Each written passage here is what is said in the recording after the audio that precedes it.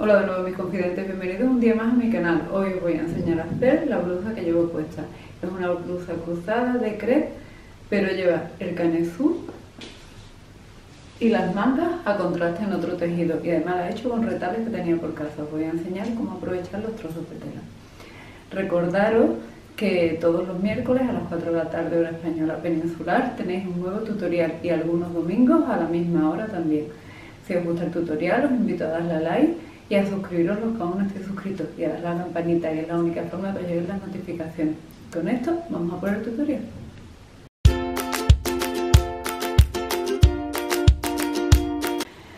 La forma más fácil de sacarle el patrón a una blusa es como os enseñé en el tutorial de cómo sacarle el patrón a vuestra blusa favorita, sino también cogiendo esa prenda y calcándola sobre el tejido directamente. En este caso, como es una blusa cruzada y no sé si tenéis en casa una parecida, no os puedo explicar las modificaciones sobre ella. Por eso voy a utilizar los patrones base de delantero y de espalda y le voy a hacer ciertas modificaciones para enseñaros cómo se hace esta blusa que tanto os gustó en la foto que os colgué en Instagram. Otra forma de hacerlo también es a partir del tutorial que os dejé del vestido cruzado con volante. Para que lo veáis mejor, he señalado con rotulador rojo fino lo que es el patrón de delante. Estas líneas discontinuas, pero le he omitido la pinza. No tiene ninguna dificultad, únicamente será no ponerle la pinza y la distancia que haya desde la cintura hasta la sisa será la misma tanto delante como detrás. Vamos a hacerle varias modificaciones en la sisa, en el escote y en el bajo. A la línea inicial del hombro le vamos a bajar 5 centímetros. Desde este punto hasta este, exactamente igual. Y vamos a trazar una línea recta. Esta línea recta la vamos a prolongar 5 centímetros más. Porque el canesú irá justo a nuestros hombros, pero la parte de la blusa va un poco rizada. Otra forma de hacerlo, aunque un poco más complicada, sería meterle varios pliegues aquí. Tendríamos que recortarla y hacerle una especie de pinza que después abriríamos. Pero vamos, es más complicado, así que si la ampliáis los 5 centímetros aquí, como no es mucha cantidad, no pasa nada, después se riza y sin ningún tipo de problema. Como esta blusa será bastante más amplia, por eso hay que hacerla mejor en un tejido caído, como un satén, un georgette, una casa o algún crez suertecito. Le vamos a ampliar también el lateral, en este caso 5 centímetros. Y para que el hueco de la sisa sea más grande le voy a bajar 3 centímetros. También va a ser más larga. Para que veáis el patrón completo no sé si se ve bien la línea de la cintura que es por donde llega el patrón inicial. Bueno pues desde esa línea yo voy a bajarle 16 centímetros. Es aproximadamente un poquito más alta de la cadera. Ya vosotros ponéis el largo que queráis esta pinza de la cintura la omitiríamos porque es larga y he trazado una línea recta a esos 16 centímetros. Después en el centro del patrón he bajado otros 5 centímetros porque esta blusa irá ligeramente curvada en la parte de delante. Para hacerle el cruce lo que tenéis que hacer es coger el patrón y ponerlo doble. Yo solo he dibujado una parte, pero la anchura que hay aquí y hay aquí es exactamente la misma. En el tutorial del vestido cruzado lo explico paso a paso perfectamente, pero aquí lo tenéis también. Como he redondeado la parte de abajo, llega al punto donde corté los 16 centímetros. Bueno, pues desde ahí voy a subir 6 centímetros y esos 6 centímetros lo curvaré ligeramente hasta este punto del escote que ampliamos 5 centímetros. Y la parte de delante estaría terminada. Ahora lo que tengo es que recortar el patrón. Sería una pieza, esta parte de aquí, y otra pieza, este trocito del hombro que uniremos con el trozo del patrón de detrás y será el canesú que nos llevará costura aquí arriba. La modificación de la parte de atrás es aún más fácil. He cogido y he bajado desde el punto donde empieza el patrón 10 centímetros para cortarle el canesú. En la sisa exactamente igual que en la parte de delante. Porque tienen que coincidirme los patrones. Le he bajado 3 centímetros y le he ampliado otros 5 centímetros. La parte de atrás también va rizada, así que el patrón inicial termina aquí. Le he ampliado 5 centímetros hasta abajo. Y la parte de abajo de la blusa tiene la misma ampliación, 16 centímetros desde la línea de la cintura. También pierde esta pinza y después otros 5 centímetros porque irá ligeramente curvada en la espalda. A la manga la única modificación será ampliarle estos 5 centímetros y bajarle estos 3 centímetros para que después la peina nos coincida perfectamente con la sisa. Después de recortar los patrones, he separado las partes del canezú, tanto el delantero como el de la espalda. Ahora lo único que tengo que hacer es unirlo. Yo le he puesto una señal aquí para no confundirme porque en la parte de atrás se ve perfectamente. Pero en la parte de delante podemos confundir cuál es el lado del hombro y cuál es del escote. Así que le he puesto aquí una E de escote y una H de hombro en ambos patrones. Lo único que tenéis que hacer es unir esto así. Ponerle cinta adhesiva y será lo que cortemos de un tejido diferente o si queréis del mismo tejido. Pero es el canesú que va aparte y el resto de la blusa irá un poco rizada a este canesú. Como tengo tan poco tejido, la mejor forma de aprovecharlo en este caso es poniendo un patrón hacia abajo y otro hacia arriba. Esta es la parte del delantero, si veis está hacia abajo y la parte de la espalda, aquí está la sisa y está al contrario, porque era la mejor forma de aprovechar este tejido. Le voy a dejar en la parte de abajo centímetro y medio, en los laterales lo mismo y en la parte del canesú también lo dibujo y lo recorto.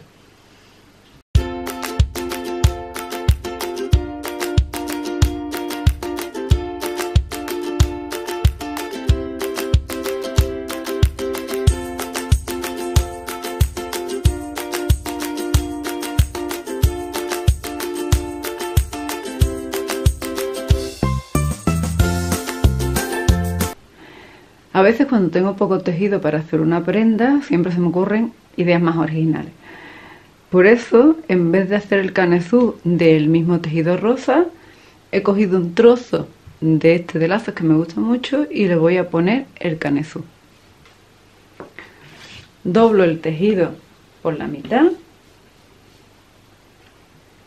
y ahora simplemente recorto con el patrón del canesú.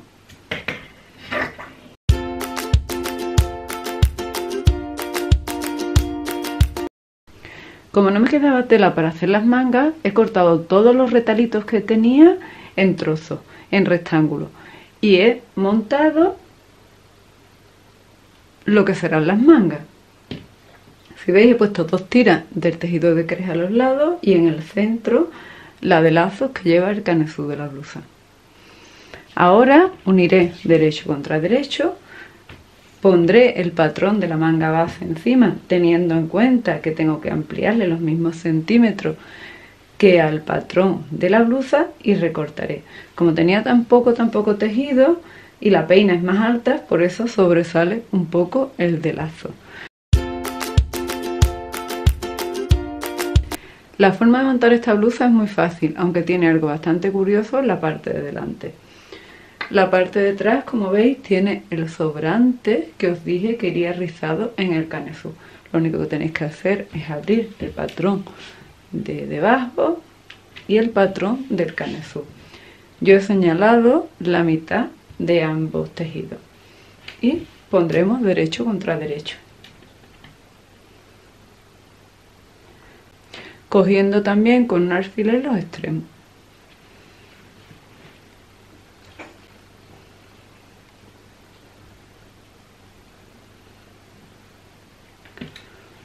Una vez cogido, lo que tendréis es que echarle un pespunte a ambos tejidos, pero rizándole esta parte a esta otra. Lo ideal es que dejéis aproximadamente unos 8 centímetros por los laterales y el sobrante se lo ricéis más en el centro, siempre quedará más bonito. Le ponéis con alfileres, por ejemplo, hasta aquí, echáis un pespunte Y ahora este trocito es lo que rizáis, tanto en un lado como en el otro. Y os quedará el frunce todo en el centro. La parte de delante es lo que lleva algo bastante curioso.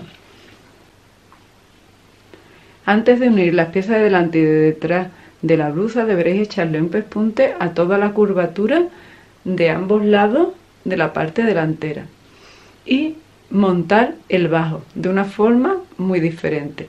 Os lo voy a enseñar en la camisa original para que veáis cómo está cosido. Para darle esta forma bombada que tiene en el bajo tenemos que coserla como os voy a explicar ahora. La parte de detrás lleva un dobladillo, un pespunte hecho con la máquina. Sin embargo, la parte de delante veis que no se le nota absolutamente nada. Y es porque está cosida y vuelta. Me explico. Si le doy la vuelta a la camisa, veis que este lateral lo que lleva es un remallado, pero curiosamente con el otro lateral. Lo que han hecho con la camisa es unir la parte de abajo de los dos delanteros. Al unir las dos piezas del delantero por abajo se le queda esta forma abombada. Es la única manera de conseguirlo. Si queréis verlo mejor podemos hacerlo aquí.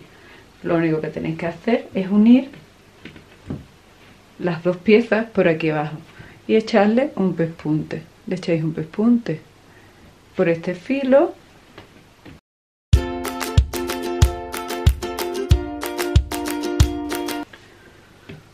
Y aquí tenéis, solo cogido con alfileres, claro está, cómo quedaría. Cuando ya tengamos esto cosido y también la curvatura, es hora de pegar las piezas de delante con las de detrás. Pondremos derecho contra derecho y uniremos los hombros. Como también le habíamos dejado un sobrante a la parte de delante, se lo rizaremos aquí al canezo cogéis con alfileres los extremos de ambos tejidos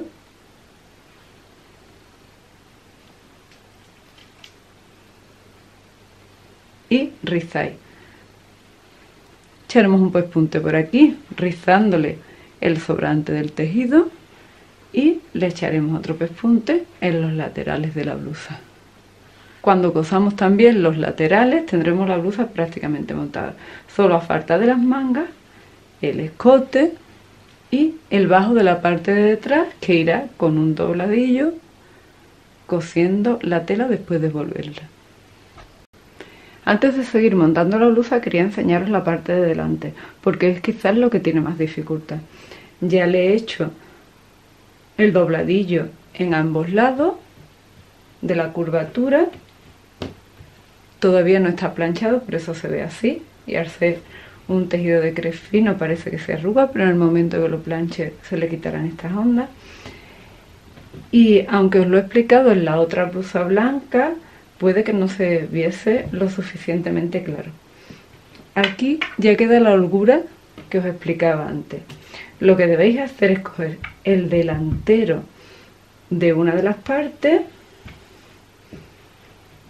y ponerlo contra la parte del revés de la otra. Es tan fácil como unir por debajo toda la curvatura que le hemos dibujado. Al darle la vuelta a la blusa quedará la costura escondida y esta forma caída de la que os hablaba antes totalmente diferente sin ningún tipo de pespunte. A la parte de detrás ya le he cosido el canesú con un poco de rizo en el centro, como os expliqué antes. Y ahora voy a pasar a unirle los hombros del canesú con la parte delantera. Quedará una cosa así. Cuando le una los hombros, le coseré las mangas y los laterales. Os voy a explicar los problemas que pueden surgir cuando intentamos hacer una prenda con retales y las modificaciones que podéis hacer para que esa prenda quede perfectamente. La blusa os dije que dejarais 5 centímetros en los laterales. Como yo no tenía tejido suficiente para hacer las mangas como en la fotografía que os enseñé, que tanto os gustó, las mangas en vez de largas son cortas y además las he tenido que estrechar. Al estrecharlas también lógicamente le he tenido que estrechar la parte de arriba. Como os digo siempre, lo que le deis o quitéis a la costura del lateral se lo tenéis que dar o quitar a la costura de la manga porque tiene que casar perfectamente, igual que pasa con la sisa. Entonces tan solo le he dado una holgura de 2 centímetros, pero ya os digo, se la he dado así porque he tenido que estrechar la manga. Si vosotros tenéis tejido suficiente, queréis ponerle la manga larga o esta misma manga corta pero más amplia, le podéis dejar los 5 centímetros o lo que creáis conveniente. Así es como ha quedado el bajo de la camisa. No se ve ningún tipo de costura, como os he enseñado a coserla antes, uniendo las dos partes de arriba de esta forma tan particular. Los laterales ya están cosidos y planchados para que veáis cómo quedan. El canesú creo que le da un contraste precioso y tiene los pliegues tanto de un lado como del otro hacia adentro. A mí me gusta siempre que queden muy curiosas las prendas, por eso intento que tanto una parte como la otra se vea lo más simétrica posible. Cuando estaba montando la manga, con los trocitos de tela, si veis, aquí lleva un corte, aquí lleva otro, aquí también he intentado que pareciese que estaba hecho lógicamente queriendo y no porque no tenía más tejido. Por eso he casado el canesú con este trozo de tela de lazo para que quede más bonito, tanto la parte de detrás como la parte de delante. Y el efecto es, para mí, creo que es precioso. La forma de rematar el canesú de detrás, porque como la parte de delante lo que llevaba era el mismo tejido doblado y cosido, he cogido cinta al bies, trocitos de cinta, veis que está aquí cortado en la mitad, puse derecho contra derecho, como os dije antes, lo cosí y lo volví. Y después de volverlo simplemente le he echado un pespunte, porque esta tela de cinta lo permite. Como tiene muchas más costuras, no hay ningún problema si le echamos otro pespunte. Y la parte de detrás, lo que lleva también es el tejido cosido y vuelto, simplemente un dobladillo. Esta vez lo he cosido y lo he sobrehilado con la máquina normal ni siquiera lo he hecho con la remalladora. Y detrás también le he centrado el rizo. Espero que os haya gustado mucho el tutorial. Recordaros que me tenéis en Twitter, Facebook e Instagram, donde os cuelgo montones de diseños nuevos, no solo los que en YouTube. Y os pregunto si os gustaría que os enseñara a hacerlo aquí también. Dejadme vuestros comentarios y sugerencias. Y con esto me despido por hoy hasta dentro de muy poquitos días. No sé si será miércoles o domingo. Muchos besitos, mis confidentes.